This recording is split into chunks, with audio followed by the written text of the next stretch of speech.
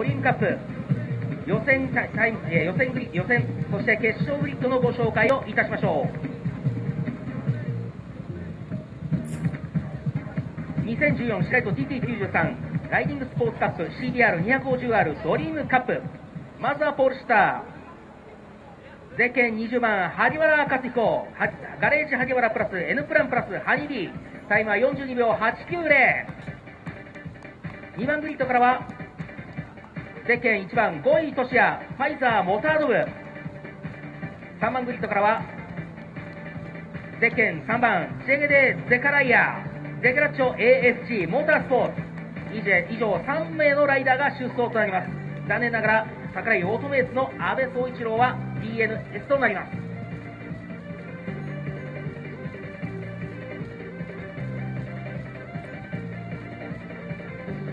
社長もうちょっと前で。分かってない分かってない。さあ3名のライダー。萩原5位。ジェゲデが今ダミーグリッドから1周のホンダフラップに入りました。それでは続いてございます決勝です。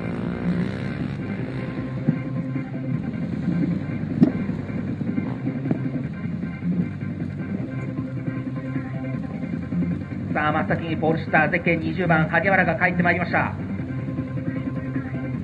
続いてゆっくりとゼッケン1番をつけます。5位そしてジェゲデがロックオン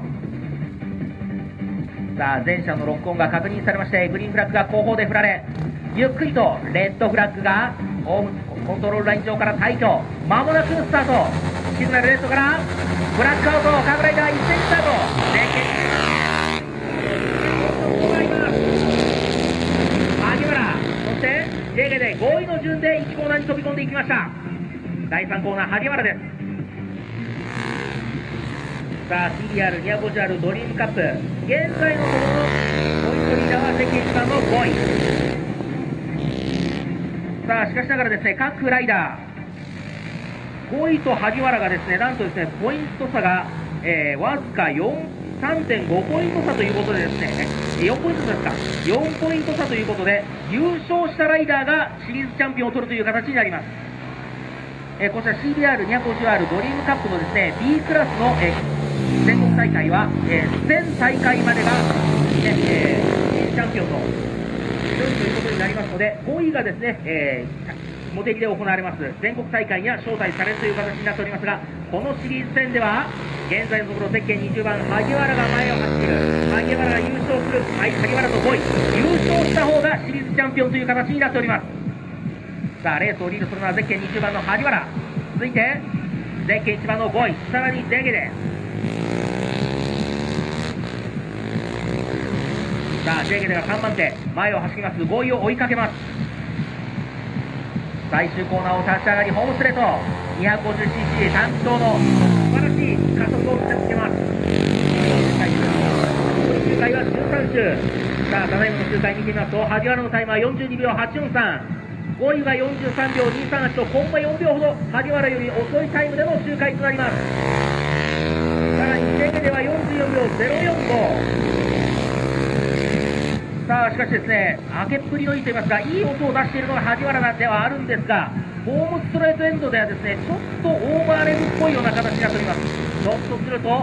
萩原マシンセッティングが完全に決まっていないのではないかと疑わせるようなそういったエンジン音ではありますが圧倒的な速さを見せての走行です萩原。コー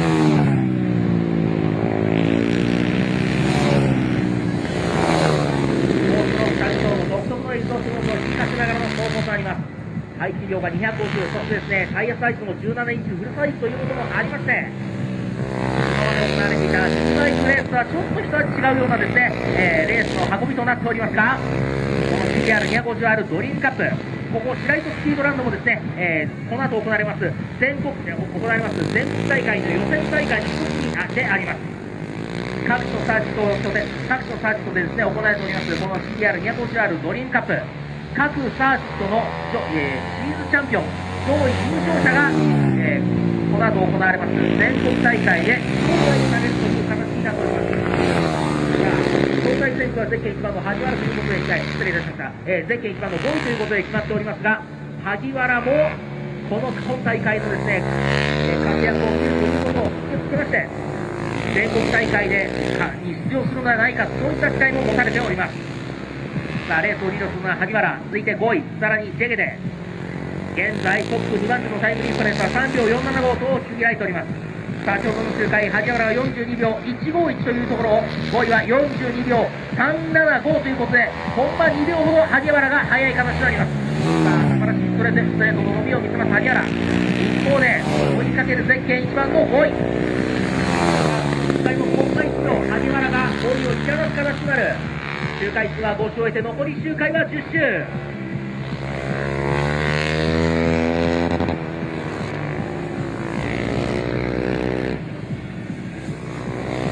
バックストレートエンドではですね、この萩原のマシン、少々オーバーレブさせているような音が出ております。しかしながらですね、後方、後続の、えライダーたちよりも、どのライダーたちにも速いペースでこの周回、コースを周回しているのが、この萩原です。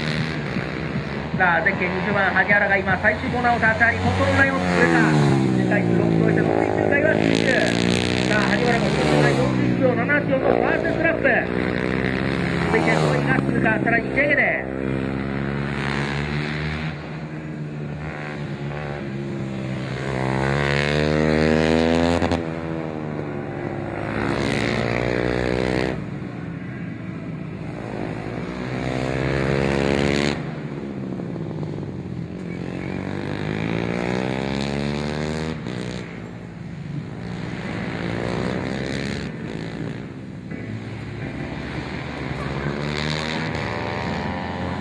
萩原がホームホームストレートに返してまいりましたコントロールラインを通過して周回数7周終えて残り周回は8周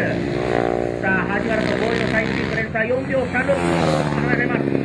さあちょうどの周回も萩原と5位のタイムディファレンスラップタイムのディファレンスはコンマ6秒ほど開いているという形になります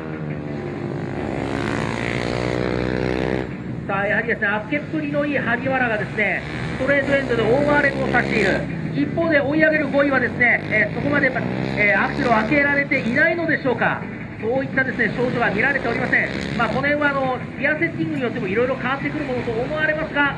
明らかに速いのが萩原のタイムです。さあ、萩原がコントロールラインを通過、周回数が8周を終えて残り周回は7周。ターニングポイントをつったというところで、トップ2番手のタイムディファレンスは4秒598を開きました。さらに3番手、ジェゲレが今コントロールラインを通過。ジェゲレのコントレゲルのトップタイムはおよそ9秒、9秒850と大きく開いております。ラップタイムもですね、毎周回約1秒の差がついているという形になります。萩原ジェゲレのディファレンスです。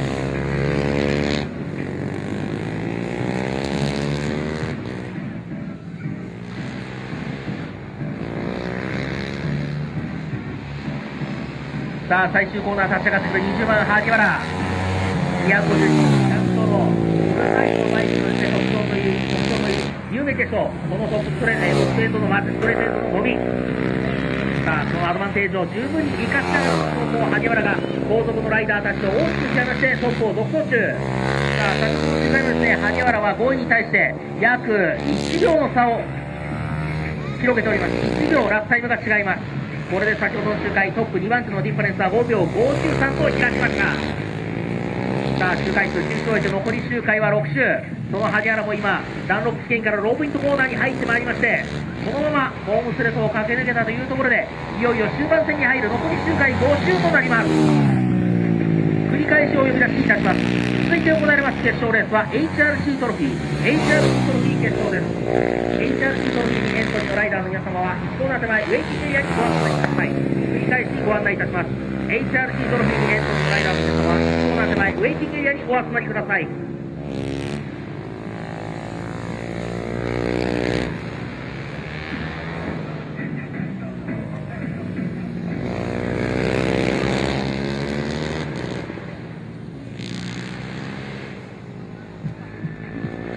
さあトップ走ります萩原が今最終コーナーを抜けましてホームストレートへ。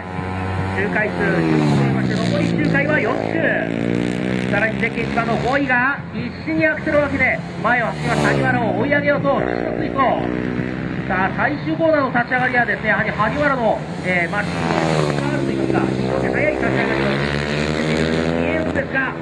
残念ながらですね萩原の顔は速いといいますか萩原の企業にはまだ及ばないといった感じなのか萩原が先ほどの周回42秒013のところ5位は42秒427コンマ4秒5位が離されている形となりますさあそしてここ白糸スピードランド上空から雨が降ってまいりました。先ほどまでほぼドライコンディションで行われていたレースではありますがいつか降ると思われていたこの雨がこのタイミングで降ってまいります。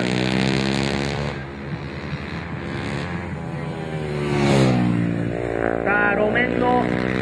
状況が大きく変わる可能性があります。周回は3周となりました。残り周回3周となったというところで雨が降ってまいります。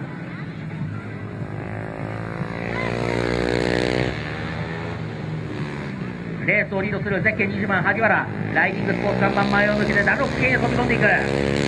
まだ路面はかろうじてハーフドライといった形でしょうか。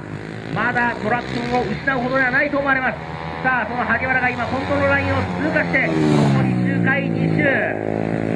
トップ萩原が今3コーナーに向かおうというところ残り周回2周です。2番手ゼッケン1番の5位がコントロールラインを通過。萩原5位のタイムディファレンスは7秒690と開きました。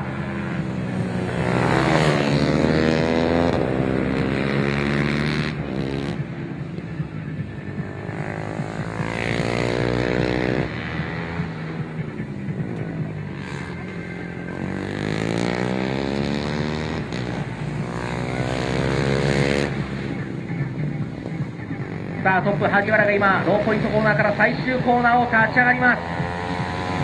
今コントロールラインを通過してファイナルラップに突入。トップ萩原が第3コーナーのブレーキング。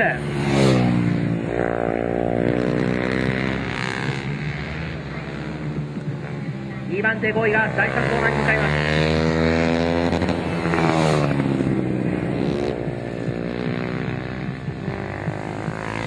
さあ、先頭、これは萩原ですね、萩原が先頭、なんとトップを改装していた萩原が先頭、その横を設計1番5位が駆け抜けていく、さあ、ほぼ手中にしていたその勝利と、シリーズチャンピオンを指の間からこぼしてしまった萩原。そうなんと最後の最後、トップでチェッカーを受けるのはゼッケン1番5位がチェッカー。さあ、ほぼ手にしていた勝利とシリーズチャンピオンの栄光を逃してしまいました、萩原。がっく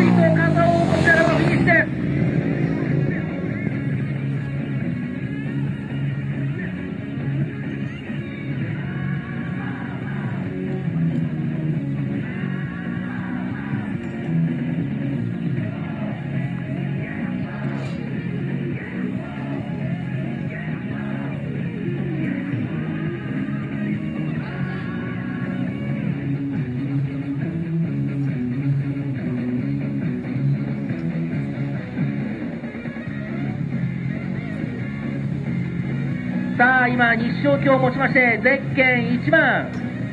5位、年がウイニングラン、最後の最後までレースを諦めずに走っていた、その恩恵を受けました。参加ライダーの皆様にご案内いたします。